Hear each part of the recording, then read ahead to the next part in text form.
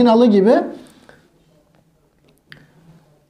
İşte görüyorsun o Emre Dorman da mesela şeyde konuşuyor efendim kanalda. Ne diyor? Ya diyor şimdi biz bunları söylüyoruz diyor. Kabir azabı yok, Kur'an'da yok filan.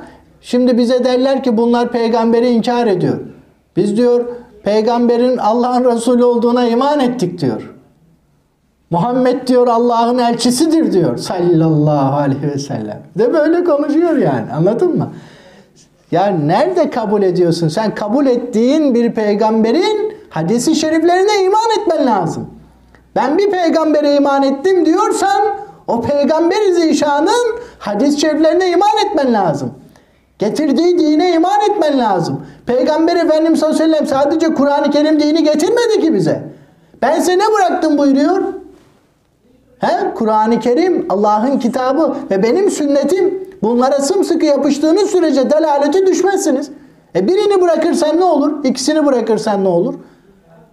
Şimdi Kur'an-ı Kerim efendim alıp da hadis-i şerifleri atmak, Kur'an-ı Kerim'i atıp da hadis-i şerifleri almak. Bunda bir fark yok ki ikisi de adamı kafir eder. İkisi de adamı kafir eder. Niye? Ya sen hadis-i şerifi terk ettiğin zaman da bak ne çıkıyor? İçki helaldir diyebiliyorsun.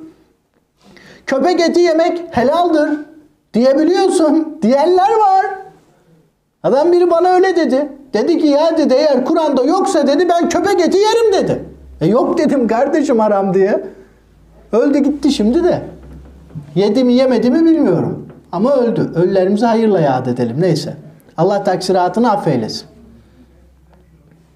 Allah bizi sapkın itikatlardan korusun Celle Celaluhu. Allahümme salli ala seyyidina Muhammedin ve ala